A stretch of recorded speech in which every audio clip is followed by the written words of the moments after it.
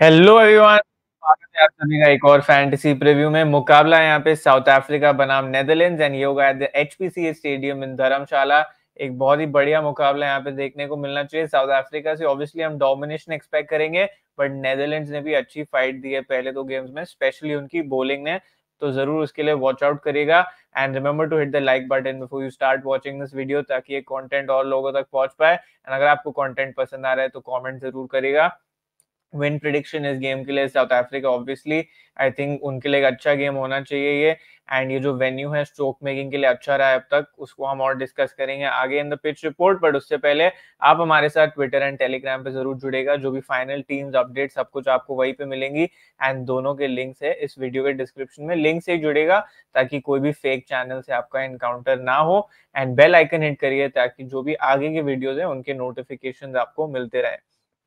Weather report की बात की जाए तो एक ठीक ठाक चांस है इस गेम में कि बारिश हो जाए एंड वो चीज़ों को थोड़ा स्पाइस अप भी कर सकती है। ये पहला गेम है धर्मशाला में जो 10 बजे नहीं शुरू होगा। ये भी एक आफ्टरनून स्टार्ट होगा। सो अंडर लाइट्स क्या मूवमेंट मिलेगी, ये भी एक बहुत बड़ा सवाल है। इवनिंग वाला गेम है ये। यहाँ पे हमने जो देखा है, पहले दो गेम्स में अच्छी स्ट्रोक मेकिंग के लिए ट्रैक थी। साथ साथ में आईपीएल में भी ये जो पिचेस थे बैटिंग के लिए अच्छे थे। तो कुछ ऐसे एक्सपेक्ट करेंगे हम यहाँ पे। एंड यहाँ पे आप देख सकते हो कि एक जो स्क्वायर बाउंड्री है, बहुत शॉर्ट भी है सिक्सटी वन मीटर्स अगर आपको लियम की वो पारी याद है आईपीएल में, बहुत वो बाउंड्री को टारगेट किया उन्होंने. एंड हमने इंग्लैंड के बैटर्स के साथ भी ये देखा था in the first set of games and evening start तो एक बात वो वॉच आउट करनी पड़ेगी कैसे उससे फ़र्क पड़ेगा पिच इन कंडीशंस पे. एंड साथ साथ में यहाँ जो आउटफील्ड है, बहुत खराब है, जो बोलर्स के लिए काम बहुत मुश्किल कर देता है. क्या हो जाता है? जब खराब आउटफील्ड में आप रनअप में चल रहे हो तो वो जो सैंड है बार बार ऊपर आती है as a sand based outfield है एंड फिर आपका जो मोमेंटम है वो खराब हो जाता है। तो पेसर्स के लिए वो एक कंसर्न है बट उसके अलावा I think should be a good game and हमने देखा कि बॉल ऐसा तो नहीं था कि आउटफील्ड में खास कुछ फंस रहा था, बस प्लेयर्स को डाइव करने में मुश्किल हो सकती है so maybe some extra boundaries in that case तो ये हुई पिच रिपोर्ट की बात। स्क्वाड न्यूज़ की बात करें तो लोगिन वेनबीक लास्ट गेम में नहीं खेले थे नेदरलैंड्स के लिए। अब क्या ये मुकाबला खेलेंगे या नहीं, ये देखने लायक बात होगी। बट काफ़ी समय हो गया उनके लास्ट गेम से अब तक तो होपफुली खेल लें तो उनके लिए यहाँ पे एक बहुत बड़ा फ़ायदा हो सकता है with Logan van Beek back in the team अब चलते हैं प्लेइंग इलेवन की तरफ़ तो पहले बात करें साउथ अफ्रीका की। काफ़ी सिमिलर साइड यहाँ पे मैं एक्सपेक्ट कर रहा हूँ। एक जो चेंज हो सकता है वो है कि ये जो ट्रैक है स्पिन फ्रेंडली उतना ना हो तो मे बी ये शामजी वापस बेंच पर जाके ये कोर्जी को वापस लाएँ। बट ये एक और फैक्टर ये भी है कि साथ साथ में कि नेदरलैंड्स को स्पिन के सामने तकलीफें हो सकती है तो अनचेंज भी जा सकते हैं, बट वही एक स्लॉट पे अगर चेंज होगा भी तो वही स्लॉट पे होगा। नेदरलैंड्स की बात की जाए तो साकिब जुल्फिकर का खेलना अनलाइकली एज जो लास्ट मैंने न्यूज़ पढ़ी कि वाइल्ड साइब्रांड एंगल ब्रेक ने एक ठीक ठाक नॉक खेला था जुल्फिकर की भी चांसेस ठीक ठाक है। तो हम दोनों प्लेयर्स को डिस्कस करेंगे, हमारे प्लेयर वन पेजेस में एंड क्या सिनेरियो में आप दोनों को ले सकते हो। उसके अलावा लोगन वन भी एक फिटनेस बेस्ड कॉल होगा इनके लिए। तो ये हुई एक्सपेक्टेड प्लेइंग इलेवन की बात। अब चलते हैं साउथ अफ्रीकन टीम की तरफ़ एंड कौन से होंगे इंटरेस्टिंग प्लेयर्स क्विंटन डिकॉक बहुत ही अच्छे फॉर्म में चल रहे हैं। पहले दो इनिंग्स में हंड्रेड मार के आ रहे हैं। पहले दो गेम्स जो इन्होंने खेले थे तो ऑब्वियसली इनकी जो अपॉर्चुनिटी मीटर है काफ़ी हाई है, क्योंकि साथ साथ में कीपिंग वैल्यू भी देते हैं। एंड रिस्क मीटर थोड़ा हाई क्यों है? मैं ऐसा नहीं कहूँगा कि ये ब्लाइंड रिस्क लेते हैं, इसलिए फुल हाई मीटर नहीं है ये बट कभी कभार एक आध शॉट एक्स्ट्रा खेल जाते हैं बट फिर भी ऐसे अपोनेंट के सामने आप इनको रिस्क नहीं करोगे, क्योंकि बहुत ही अच्छी शॉर्ट रेंज है इनके पास। टेम्बा बबूमा एक ठीक ठाक पिक है एंड वाइल ज़्यादा लोग इनको एक as a test batsman classify करते हैं, आप देखो कि ऑस्ट्रेलिया के सामने भी कुछ एरी पेरी शॉट्स खेले इन्होंने, जो वो गेट अवे कर गए ऑस्ट्रेलिया ने काफ़ी खराब फील्डिंग की वो गेम में। बट उन, इनके साथ यही एक प्रॉब्लम होती है कि कभी कभी सेट हो जाते हैं तो चल जाएँगे, नहीं तो वो जो एक खराब शॉट है, वो उनका गेम वहीं पे एंड कर देगा। तो मेरे लिए ये एक फिफ्टी फिफ्टी कॉल रहेंगे इन दिस गेम वो ये, इसको हम डिस्कस करेंगे आगे बेस टीम की तरफ़। रासी वैंडेड डसन ऑब्वियसली आप इन पे चांस नहीं लोगे, बहुत ही अच्छी प्लेयर है एंड इन कंडीशन को सूट भी करना चाहिए, इनका जो प्लेइंग स्टाइल है। बट एक दो इंटरेस्टिंग मैचअप्स है। हर मैचअप के पास में एन ए क्यू है? एज टीम एज ये जो टीम्स है, एक दूसरे के सामने ज़्यादा कुछ खास खेले नहीं है।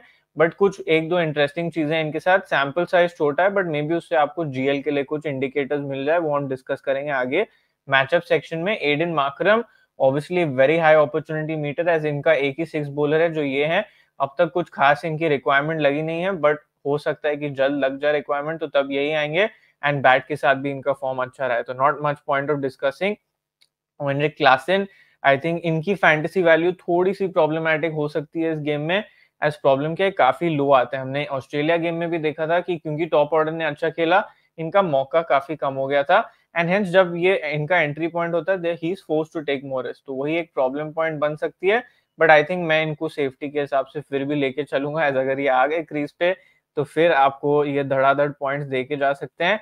Remember to sign up on the My Mast eleven app एक बढ़िया सा इन्वेस्टमेंट लीड बोर्ड चल रहा है। कैसे खेल सकते हो इन्वेस्टमेंट लीड बोर्ड आप जैसे ज़्यादा से ज़्यादा लीग ज्वाइन करोगे, आपकी जो रैंकिंग है इंप्रूव होती जाएगी। तो ज़रूर खेलिएगा। My Mast eleven app link है in the description of this video and I refer code is F C P and अगर आपको ज़्यादा इन्वेस्ट नहीं करना है बट फिर भी बड़े प्राइजेस जीतने हैं तो ग्रैंड लीग ज्वाइन करिए इनका। पॉइंट्स बेस्ड लीडर बोर्ड है। अगर आप तीस टीम्स बना रहे हो इनकी ग्रैंड लीग में, जो भी बेस्ट टीम है, उनके पॉइंट्स गिने जाएँगे आपके लीडर बोर्ड के सिस्टम में। तो ये हुई लीडर बोर्ड की बात। डेविड मिलर इनकी जो अपॉर्चुनिटी मीटर है इस गेम में और भी कम है। ऑब्वियसली क्लास खिलाड़ी है बट प्रॉब्लम क्या है कि इवन अगेंस्ट टॉप टीम्स इनकी जो एंट्री पॉइंट होती है फोर्टी फिफ्थ ओवर के बाद होती है। वहाँ पे उनके पास कोई ऑप्शन नहीं है but to take risk every ball and छोटी टीम्स के सामने ऐसा भी होता है कि इनका मौका भी नहीं आता। तो will be interesting to see इनका मौका आएगा या नहीं बट इनको मैं लूँगा तो ग्रैंड लीग्स में लूँगा स्मॉल लीग्स में वैसे भी कोई खास इनको लेकर नहीं आएगा। एज प्लेयर बहुत अच्छे हैं बट अपॉर्चुनिटी इन्हें कम मिलती है। मार्को यानसन आई थिंक मेरी एक्सपेक्टेशन को तो पर्सनली इन्होंने डिफीट किया बहुत ही अच्छी बॉलिंग की है इन्होंने। मैं, वैसे देखा जाता है इन्हें समवन की जब इन्हें हेल्प मिलती है तभी अच्छा डालते हैं बट इन्होंने हेल्प ढूंढी है। इन सिचुएशंस जहाँ हेल्प नहीं मिली, चाहे श्रीलंका के सामने हो, ऑस्ट्रेलिया के सामने हो रन खाए हैं इन्होंने, ज़रूर खाए हैं बट साथ साथ में विकेट भी लिया हमें फैंटेसी वैल्यू में वही चाहिए कि कोई बंदा हमें विकेट दे के जाए। तो ऑब्वियसली एक टॉप खिलाड़ी है एंड मेरे टीम में तो ज़रूर रहेंगे इस मुकाबले में। कगीज और अबाडा फास्ट एंड ऑस्ट्रेलिया के सामने बहुत ही अच्छा किया इन्होंने। दोनों सिचुएशन में लोग इन्हें कुछ खास डिस्कस करके मतलब नहीं है। एज इस पे, इन पे आप कोई भी सिनेरियो में प्रॉब्लम रिस्क नहीं लोगे। जलाल कुर्जिया, अगर टीम में वापस आते हैं, ज़रूर टीम में जगह ढूंढ लेंगे एज हम देखते हैं साउथ अफ्रीका की इनके जो फाइव मेन बॉलर्स हैं वो ज़्यादातर यही कोशिश करते हैं कि उनसे ही इनके पचास ओवर्स निकल जाए जो हमारे लिए फैंटेसी के हिसाब से काम आसान कर लेते हैं। एज क्या हो जाता है आपको कहीं देखना नहीं पड़ रहा कि अच्छा मैं ये सिक्स बॉलर को लू कवर करूँ या नहीं करूँ। बट विथ साउथ अफ्रीका वही बात है कि इनका जो सिक्स बॉलर है वो भी है माक्रम एंड माक्रम तो टॉप सीवीसी चॉइस बनते हैं इनके लिए हर गेम में। सो so, वो हिसाब से आई थिंक इनके जो बॉलर्स हैं उनको कवर करना काफ़ी इंपॉर्टेंट है हर गेम में। Lungi Ngidi. I think last game में ऑस्ट्रेलिया के सामने बहुत सारे बॉलर्स ने अच्छे खासे नंबर ऑफ़ विकेट्स लिए।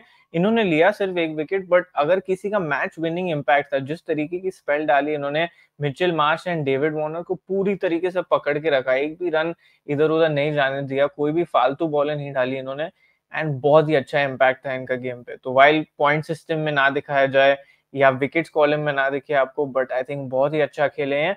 एंड ज़रूर इन्हें कुछ टीम्स में आप ग्रैंड लीग सीवीसी भी ट्राई करो। बेस टीम में तो बिल्कुल रहेंगे ही। तबरेज शामजी नेदरलैंड्स के सामने खेलते हैं तो ये एंड केशव महाराज दोनों ही इंपॉर्टेंट हो जाते हैं। तो मेरे हिसाब से तो इस गेम में साउथ अफ्रीका के आपके जो पाँचों बॉलर्स है, वो आपकी बेस टीम में बिल्कुल रहने चाहिए। आप स्पिनर्स पे कब रिस्क ले सकते हो? जब ये पहले बॉलिंग कर रहे हैं, आपको लग रहा है कि नेदरलैंड्स मिडिल ओवर्स में इनको खेल के निकालेगा। ऐसा कुछ खास हेल्प नहीं होगी इस ट्रैक से unless and until pitch overnight बदल दी जाए। तो वो हिसाब से आप एक रिस्क ले सकते हो। उसके अलावा आई थिंक ये मेरी बेस टीम में तो बिल्कुल जगह ढूंढ लेंगे। तो ये हुई साउथ अफ्रीका के प्लेयर्स की बात। अब चलते हैं नेदरलैंड तो अब चलते हैं टीम नेदरलैंड्स की तरफ़। पहले प्लेयर यहाँ से मैक्स डाउट आई थिंक बहुत ही स्टेबल प्लेयर हैं बट कुछ रीसेंट फॉर्म इनका ठीक ठाक ही रहा है, कुछ खास नहीं रहा है। तो वो हिसाब से I don't think currently team में जगह बनाएँगे। बेस आप जीएल टीम्स में बेशक ट्राई कर सकते हो। Vikramjit Singh I think moving ball के सामने इनके कंसर्न है एंड हमने देखा है विद साउथ अफ्रीकन बॉलर्स की। इन्होंने भी हेल्प कैसे ना कैसे ढूंढ है तो वो हिसाब से ये भी बेस्ट टीम में एक रिस्की पिक बन जाते हैं। Bas de Leede obviously very high on opportunity क्योंकि डालेंगे पूरे के पूरे ओवर्स साथ साथ में वन डाउन बैटिंग भी करेंगे तो अगर कोई नेदरलैंड से आपका पहला प्लेयर होगा इन द बेस टीम होंगे Bas de Leede and first bowling में कैप्टनसी वाइस कैप्टनसी चॉइस भी। बन जाते हैं फॉर्म भी इनका अच्छा रहा है specially with the ball Colin Ackermann I think ठीक ठाक फॉर्म में लगे हैं। लास्ट गेम में भी अच्छी पारी खेल के गए थे बट स्टार्टिंग में थोड़ा रिस्क लेते हैं, इस बात का ध्यान रखिएगा। पाकिस्तान ने वो अपॉर्चुनिटी अर्ली सीज नहीं की बट ये स्टार्टिंग में ज़रूर कुछ रिस्क लेते हैं, वहाँ पे मौका बन सकता है। ये भी एक ठीक ठाक पिक है इस गेम में। करेंटली बेस टीम में प्रॉब्ली जगह ढूंढ लेंगे अगर मैं, बबूमा को ना लूँ। फिर चलें आगे की तरफ़ तेजा निदमनुरू आई थिंक ठीक-ठाक पिके हैं, थोड़े अटैकिंग हैं एंड डिसेंट शॉट्स खेल सकते हैं बट क्योंकि आपको साउथ अफ्रीका के इतने प्लेयर्स वैसे भी लेने हैं, क्वालिटी के हिसाब से ऑब्वियसली कोई मैचअप नहीं है, कोई मैच नहीं है इनका with South African side. Scott Edwards while ये करंटली क्रॉस है, आपके पास ऑलरेडी दो कीपर्स है साउथ अफ्रीका से, मेरी जीएल टीम्स में बिल्कुल इन्हें ट्राई करूँगा स्पेशली सेकंड इनिंग्स में एज काफ़ी ठीक-ठाक बैटर हैं। हमने देखा है विद नेदरलैंड्स की का, काफ़ी बार इनके अर्ली विकेट जब जाते हैं तभी आके अच्छी कंसोलिडेशन करते हैं। तो बिल्कुल इन्हें आप जीएल में ट्राई करेगा साइब्रैंड एंगलब्रेक्ट लास्ट गेम में ठीक ठाक पारी खेले थे। ये इंटरेस्टिंगली 2008 में साउथ अफ्रीका के लिए खेले थे अंडर 19 में। एक बहुत ही यादगार कैच के लिए जाने जाते हैं। बिल्कुल जाके हाइलाइट्स देखेगा बट ठीक ठाक पिक है, वापस जीएल ही पिक रहेंगे, ये बेस टीम में तो जगह है, नहीं मिलेगी। एक्सचेंज ट्वेंटी का लीडर बोर्ड चल रहा है हमारा रेफर कोड है एफसीपी कुछ टॉप प्राइजेस है वहाँ पे तो जल्दी से साइन अप कर लो। लिंक है वीडियो के डिस्क्रिप्शन में, एक no TDS and no GST app है ये। रोल ऑफ़ वैंडम ओवर बहुत सालों के लिए, ये सीनियर टीम के लिए खेल चुके हैं साउथ अफ्रीका के। याद रखिए कि साउथ अफ्रीका को बाहर किया था नेदरलैंड्स ने। टी ट्वेंटी वर्ल्ड कप में लास्ट ईयर तो ऐसा नहीं है कि कोई कंपटीशन नहीं होगा। अगर कोई कंपटीशन होगा तो फ्रंट रनर होंगे रोल ऑफ़ वैंडम ओवर सिर्फ़ प्रॉब्लम क्या है कि इनकी अपॉर्चुनिटीज़ इस गेम में क्योंकि कुछ left hander specially de Kock अगर अप टॉप सेटअप हो गए या डेविड मिलर नीचे थो, थोड़ी जल्दी आ गए या साथ साथ में नीचे सेटअप हो गए तो फिर रोल ऑफ़ की अपॉर्चुनिटीज़ वहाँ पे कम हो सकते हैं। दोनों जो प्लेयर्स हैं उन्हें लेग साइड पे खेलना काफ़ी पसंद है। तो जीएल में ट्राई कर सकते हो रोल ऑफ़ एंडम आर्यन दत्त एक बहुत इंटरेस्टिंग पिक बन सकते हैं ग्रैंड लीग्स में, क्योंकि वाइल इनकी अपॉर्चुनिटी ठीक ठाक रहेगी विद द बॉल याद रखिए कि ये पावर प्ले में बहुत यूज़ किए जाते हैं एंड क्विंटन डिकॉक को ऑफ़ स्पिन के सामने तकलीफें हैं। तो वहाँ पे आर्यन दत्त का रोल बन सकता है। बिल्कुल आप इन्हें जीएल सिनेरियोज में ट्राई करिए, जहाँ पे आप क्विंटन डिकॉक पे रिस्क ले रहे हो, ये जल्दी आके एक दो विकेट्स वहाँ पे ले सकते हैं। तो इस बात का ध्यान रखिए for your grand league scenarios Paul van Meekeren पहले बॉलिंग करेंगे तो फिर तो अपॉर्चुनिटीज़ बहुत ही अच्छी हो जाएँगी as with no Logan van Beek जो डेथ बोलिंग का भार है, वो इन पे ही लग रहा है करंटली तो वो हिसाब से आई थिंक एक अच्छी पिक बन सकते हैं specially in first bowling clean ठीक ठाक लगे प्रॉब्लम क्या इन्हें ज़्यादा इसके लिए जाना जाता है कि जब हेल्प हो फ्रॉम द ट्रैक तभी आके कुछ असर कर सकते हैं बट मुझे काफ़ी एवरेज लगे in the last game Logan van भी खेलते हैं तो सीधा मेरी टीम में जगह ढूंढ लेंगे ये. आई थिंक बहुत ही अच्छे बॉलर एंड अच्छे पेस से डालते हैं बैटिंग भी करते हैं डाउन दी ऑर्डर तो खेलेंगे तो ज़रूर मेरी टीम में जगह इन्हें मिल जाएगी. फिर चले आगे की तरफ़। यहाँ पे शरीज अहमद का खेलना unlikely leg break leg break bowler है बट क्योंकि कुछ राइट हैंडर्स है in the middle order don't be surprise अगर रोल ऑफ़ को साइड में बिठाकर इन्हें यहाँ पे मौका दिया जाए। Saqib Zulfiqar unlikely to play in this game and काफ़ी एवरेज लगे मुझे विद द बैट मैचअप्स की बात की जाए तो Quinton de Kock versus Aryan Dutt जो मैं बात कर रहा था। छोटा सैंपल साइज़ है, पाँच बॉल्स का ही बट आउट हुए एक बार। Vikramjit Singh versus Marco Jansen अब अगर अपफ्रंट कुछ मूवमेंट रहा तो विक्रमजीत सिंह बिल्कुल इस मैचअप के विक्टिम बन सकते हैं वापस। एक बार आउट हुए 63 deliveries and Rassie van der Dussen Aryan Dutt के सामने थोड़ा स्ट्रगल किए हैं। 55 का स्ट्राइक रेट है, एक बार आउट हो चुके हैं। एंड राशि पॉल वैन मीकरन के सामने सिर्फ़ नौ का स्ट्राइक रेट है। एंड बॉल्स है 22 सो डोंट बी सरप्राइज़ अगर आर्यन दत्त जल्दी आते हैं in the order for both Rassie and Quinton de Kock and अगर वो जल्दी विकेट चला जाता है तो पॉल वैन मीकरन दूसरे साइड से भी राशि को अटैक करेंगे। तो ग्रैंड लीग में अगर आप कोई भी तरीके से सोच रहे हो कि एक दो टीम्स में अगर आपको Rassie and Quinton de Kock को ड्रॉप करना है तो कौन से बॉलर्स पे आपको बैंक करना है, वो आपको आपके सामने दिख रहा है। आई थिंक ये बहुत ही अच्छा एक ग्रैंड लीग इनसाइट बन के आ सकता है अगर ये सिनेरियो बनता है। ऑब्वियसली आप ये ज़्यादा टीम्स में नहीं ट्राई कर सकते बहुत ही अच्छी बैटिंग ट्रैक है बट दो तीन टीम्स में तो बिल्कुल ये सिनेरियो बनता है। अब चलते हैं हमारी बेस टीम की तरफ़। तो अब चलते हैं हमारी आज की फैंटेसी टीम की तरफ़ एंड फैंटेसी टीम के पहले इंश्योर कि आप सब ये फ्री कॉन्टेस्ट बिल्कुल ज्वाइन कर लें। यहाँ पे आपको दिख रहे हैं कुछ top prizes so don't miss out on this chance and अब चलते हैं हमारी आज की टीम की तरफ़। एज यूजुअल पहले हम पिक करेंगे हमारे ऑब्वियस चॉइसेस एंड फिर डिसाइड करेंगे कौन से दूसरे पिक्स यहाँ पे ले लें। तो कीपिंग सेक्शन से Quinton de Kock and Heinrich Klaasen batting से राशि वैंडर जैसे मैंने कहा, बिल्कुल बैक करूँगा। And Bavuma fifty fifty call allrounders में Aiden Markram Marco Jansen Bas de Leede तीनों स्ट्रेट फॉरवर्ड चॉइसेस है। कॉलिन एकमिन में भी इतना ना डालें इस गेम में एज इतने लेफ़्ट हैंडर्स नहीं है in the middle order and Quinton de Kock अगर जल्दी आउट हो जाते हैं तो इनका जो रोल विद द बॉल है काफ़ी कम हो सकता है। बॉलिंग में कगीजो रबाडा लोगन वेनबिक अगर खेलते हैं but no assurity Lungi Ngidi Tabraiz Shamsi and मैं अज्यूम कर रहा हूँ कि शामजी एंड महाराज दोनों खेलेंगे। अगर एक ना खेले इनमें से तो मैं ले लूँगा यहाँ से जलाल क्वर्जिया तो अभी के लिए ये जो 10 प्लेयर्स हैं आई थिंक मेरी टीम में बिल्कुल जगह बना लेंगे। जो लास्ट प्लेयर होगा अगर लोगन भी खेलते हैं तो मैं उन्हें ले लूँगा। स्पेशली अगर पहले बॉलिंग करते हैं, एल्स मैं जाऊँगा विथ टेम्बा बबूमा हाँ, वही एक बैटर थे, तो टेम्बा बबूमा वो स्लॉट में आ जाएँगे। एंड अगर लग रहा है कि पिच थोड़ी-सी स्लो है, अप फ्रंट कुछ मदद हो सकती है, तो फिर कॉलिन एकमैन एज़ फिर हमें पता है कि विद द बॉल भी थोड़ी हेल्प हमें मिल जाएँगी उनसे एंड साथ-साथ में बैटिंग वैल्यू भी मिल जाएगा। बट ऑल इन ऑल जो बाकी की टीम है प्रिटी सिमिलर लग रही है मुझे एंड मैं यहाँ पे ये लास्ट जो स्लॉट है एज़ अ फिलर अभी के लिए कॉलिन एकमैन को लेके जा रहा हूँ। बाद में ऑब्वियसली ये चेंज हो सकता है। कैप्टन मेरे लॉक्ड रहेंगे, चाहे फ़र्स्ट बैटिंग करें या second. I think Aiden Markram एक बहुत ही अच्छी चॉइस बन के आएँगे जो सेफ़ वीसी होंगे वो होंगे क्विंटन डिकॉक ऑब्वियसली।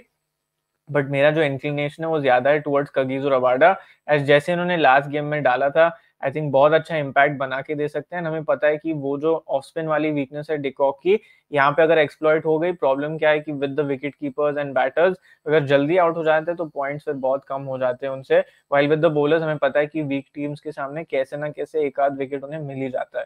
तो हेंस मैं थोड़ा उस हिसाब से नहीं सिलेक्शन परसेंटेज हिसाब के नहीं बट जो गेम सिचुएशन के हिसाब से रबाडा थोड़े ज़्यादा सेफ़ हो सकते हैं, हेंस मैं उनको वीसी बना के जा रहा हूँ। तो अभी के लिए ये है मेरी टीम। कुछ भी चेंजेस होंगे तो मैं आपको बता दूँगा ऑन टेलीग्राम। अब चलते हैं आज के जीएल ऑप्शंस की तरफ़। तो जीएल ऑप्शंस की बात की जाए obviously low select dark horse picks Lungi and Heinrich Klaasen already आपको बता चुका हूँ क्यों and high select dropless bombs अभी के लिए मुझे नहीं लग रहा कि कोई भी ऐसा हाई सेलेक्ट ड्रॉपलेस बॉम्ब है जो वर्दी है। अगर हमें आफ्टर पिच ऐसा कुछ लगा तो आपको बता दूँगा मैं on Telegram. Grand league captaincy, vice captaincy choices पहली बैटिंग में मिलर क्योंकि उनका मौका आ सकता है and the spinners batting second, bowling first Bas de Leede, Lungi and Ngidi and in both scenarios Quinton de Kock, Aiden Markram and Kagiso Rabada एकदम straight forward choices हैं एंड मैं एक्सपेक्ट कर रहा हूँ कि गेम भी कुछ ऐसा हो। अब एक एक और बात याद रखिए कि आप लीडर बोर्ड वाला कॉन्टेस्ट ज़रूर खेलिए इस गेम में। ज़्यादा कुछ ऑप्शंस नहीं है, तो इसका ये मतलब है कि एक 14-15 प्लेयर के पूल से ही मोस्टली ड्रीम टीम बनाई जाएगी एंड हेंस आप ज़्यादा रोटेट करिए, ज़्यादा टीम्स बनाइए बेस्ड ऑन दिस प्रीव्यू। चाहिए तो एक और बार पीछे जाके प्रीव्यू देख के समझ लीजिए कि कौन से प्लेयर्स को आप रोटेट कर सकते हो एंड वही हिसाब से एक टीम बनाइए and at the rate Fantasy Crick Pro पे ज़रूर जुड़ेगा for final teams, updates, all that and more. Remember to hit the like button and comment ज़रूर करेगा जस्ट फॉर फन आपको क्या लगता है कितने रन बनाएँगे एडन मार्करम? जल्दी मिलेंगे एक और प्रीव्यू के लिए। Thank you so much for tuning in and thank you so much for all your support.